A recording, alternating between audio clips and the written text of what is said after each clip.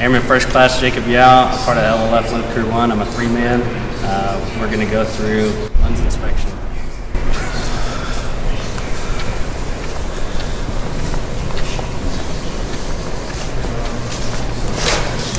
Put things first, gonna take the cover off. We'll check the data plate, make sure it's the right munition. It says Datum 158A.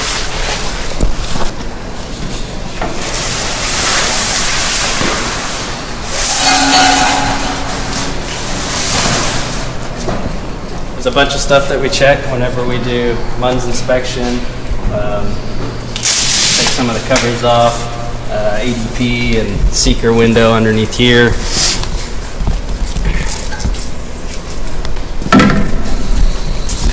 And then we'll check the lugs, make sure they're good to go, make sure there's no FOD inside of here. Check the connectors right there. Uh, we'll also check underneath the straps, make sure there's no uh, dirt or grime. We'll also check the, the backside here.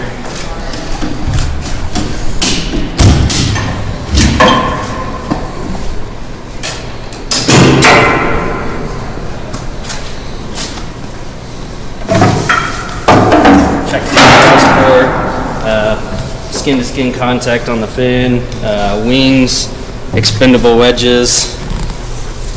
Basically look over the whole munition and make sure it's good to go.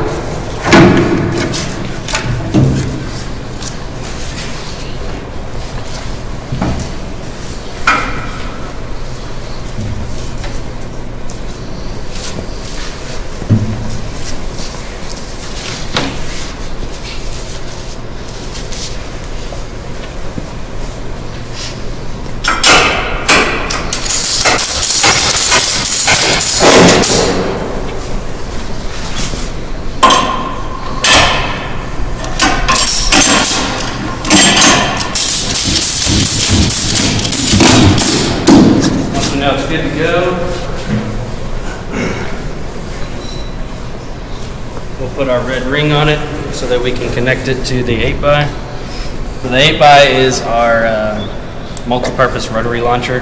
Um, it's to carry eight of these JASSMs or any kind of 2,000 pound. So. so we'll put that on there. That way we can connect our 1760 cable. After that, we'll put our friction pad on. This is just to make sure that the, the missile stays, uh, doesn't get scratched or anything from the racks while we're putting it up.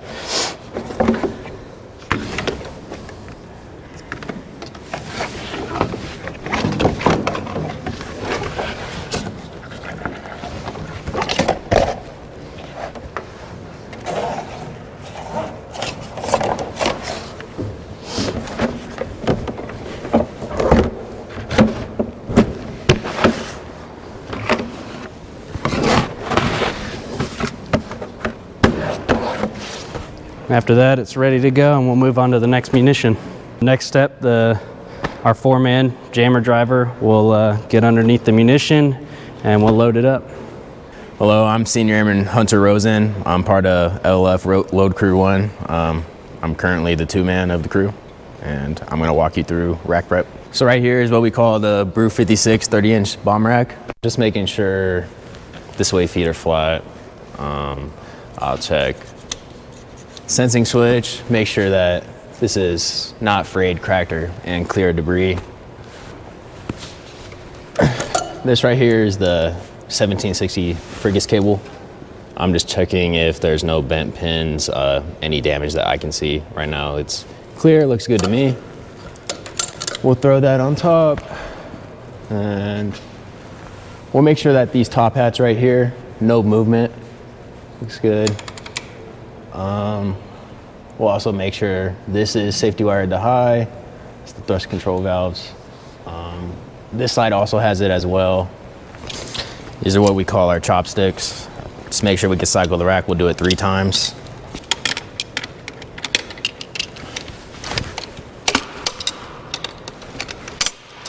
T, we're looking for T right here. Make sure it all lines up. That's how we know it fully cycled.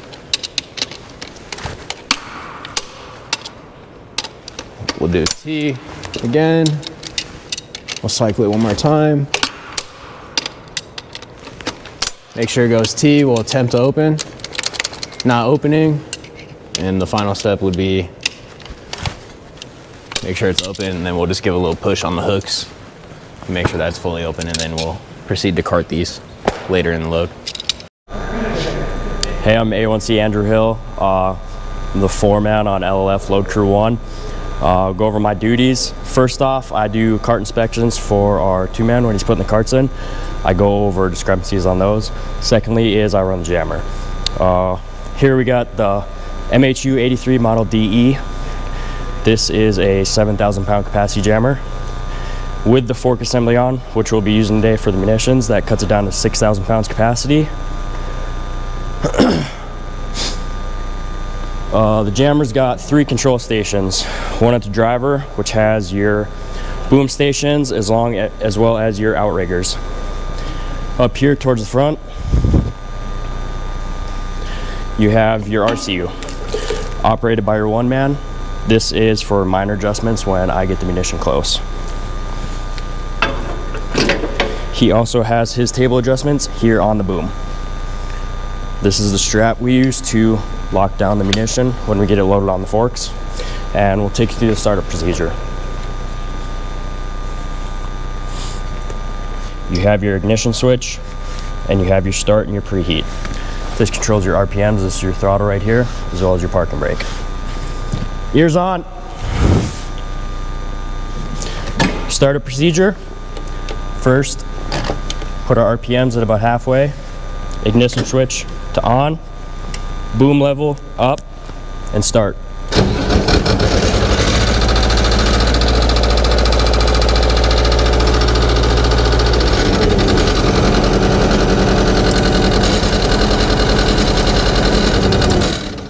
I'm Staff Sergeant Anthony Bergstrom, part of the 28th Muns LLF crew number one. Um, we have our LLF right here and I'm going to be going through our general procedures of loading before we actually start our load. So we walk through.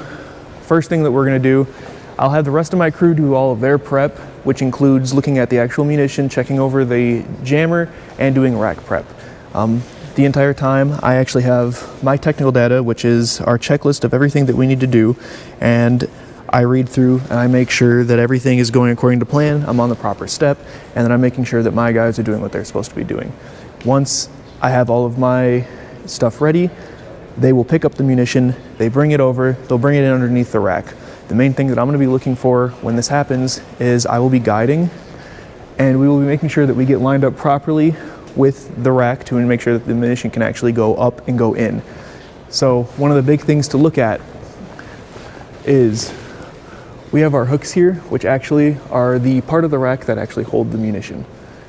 So you have to make sure that you line up, you come in, and you go up when you're doing this. Um, one of the big things to account for when you are loading in this particular style using a jammer with just forks is the jammer has a parabolic arc. So as we're coming up, the jammer will actually move in an up and a down fashion on the side at the same time. Um, part of that that becomes an issue is while we're moving ammunition, we have to have a strap on it to make sure that it can't fall off during our load. Big problem is once we get closer, the strap needs to come off so that we can actually have freedom of movement so that we can adjust to what we need to and we can't, we have clearance to actually make sure the strap comes off. So we can't lock it in with the strap on. So one of the big problems is we have to be able to eye. Uh, part of it that comes with experience is you have to be able to eye what you're going to be going to, and then you take the strap off and you go from there and you use the movements you have available to get into the actual rack.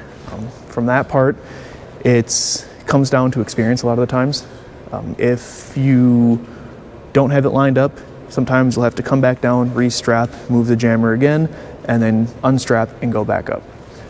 So that's essentially all that we're going to be looking for. Uh, the rack prep Rosen already went over that he when, when it locks in, he's looking for T here. For myself, after it gets locked in, we do um, a weight check. So for the weight check is we are going to separate the munition from the casket the giant silver bottom part. We're going to separate those so the munition will be free hanging on the rack. From there, he's go- we are going to lower it, make separation. He's going to do an attempt to open where he takes one of his tools and he will do he will check it to make sure that the rack doesn't open on its own. From there, it will get locked.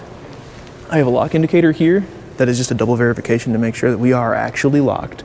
Once this, once we check this is good, we are clear to move the jammer out, move it away, move on to our next munition. We're going to start the load. Once we turn the jammer on, it's going to be incredibly loud. It may be difficult to hear. I'm going to try to explain through as much as I can of what I'm doing, but it may be hard. Go over our specific safety requirements. We're doing a train munition.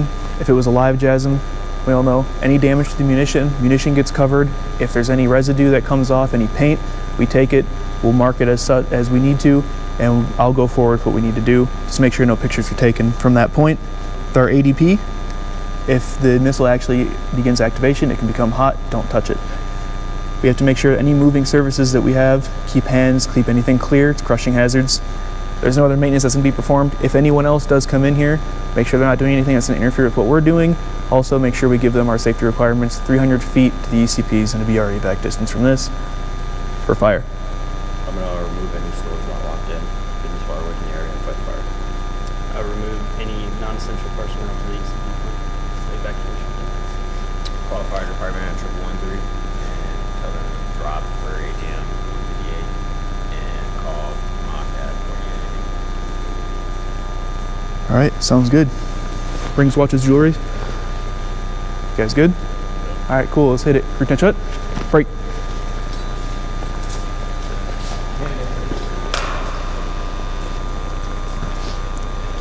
So typically when we'd be doing an actual load starting from the beginning, um, we would have them go through all of their preparation that they've already done, which would include his MUNS prep, his look over of the jammer, and his rack prep. At this point, we already have those completed, so uh, well, he's about to start the jammer, so this is when it's probably going to get hard to hear. Um,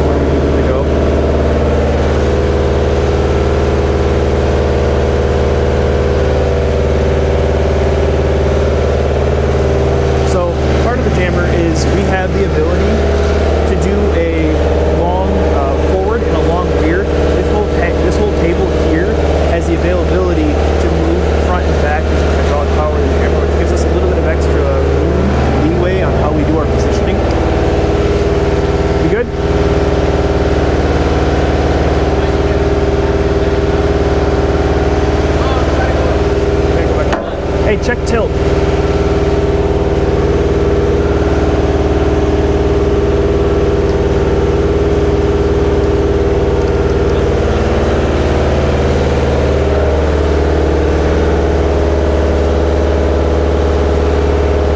So part of this is a lot of these jammers they will lead, which means they'll go into the wrong direction that we don't want them to go on their own, just because of the nature of hydraulics.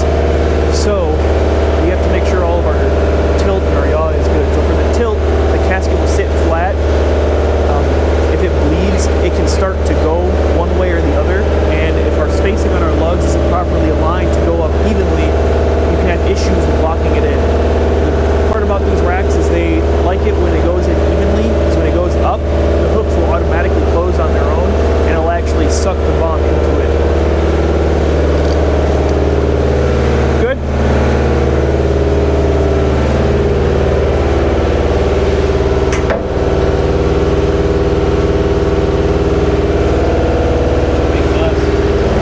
I got more long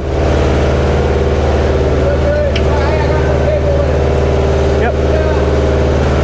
So, for all of our smart munitions that we load, we have the 1760 cable that needs to be placed onto its connector. So that's what our two man is doing right now. He's actually placing the 1760 cable onto the connector. That is part of what actually gives a lot of our GPS data to our munitions. Without it, um, they're just dumb bombs.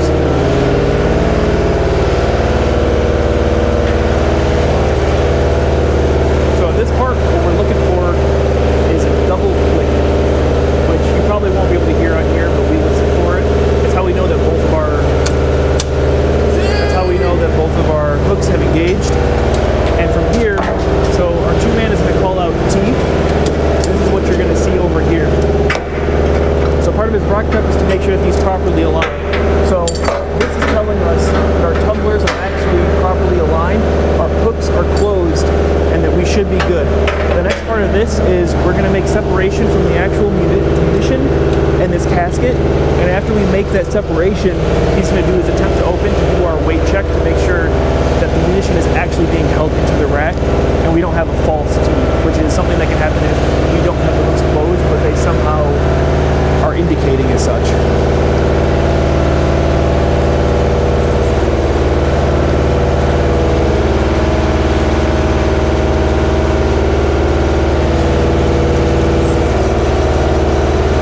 So a big part of this for making separation, to account for the parabolic arc of when it goes forward as it goes down, we have to roll the nose down as we come down a little bit, just to make sure we're not ripping the missile and pulling it out.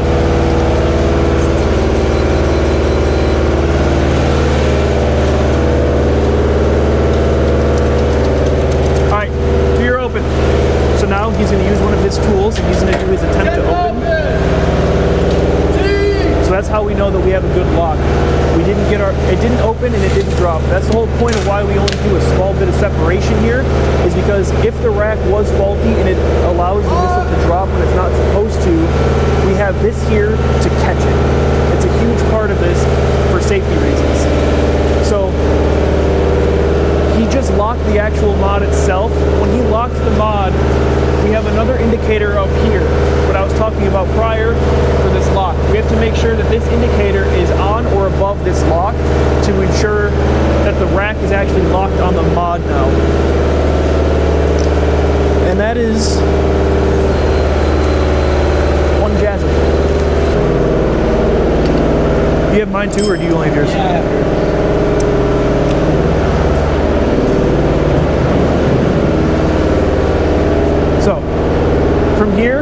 have to do is we have our sway pads on the rack. So for our sway pads, he's gonna run his side down, I have to run my side down. This is to ensure that you can see the missile kind of shake a little bit. We're gonna be kind of cinching it down to make sure that it stays. Because part of this launcher is that it rotates. So when it rotates, you don't want these munitions to start drooping down.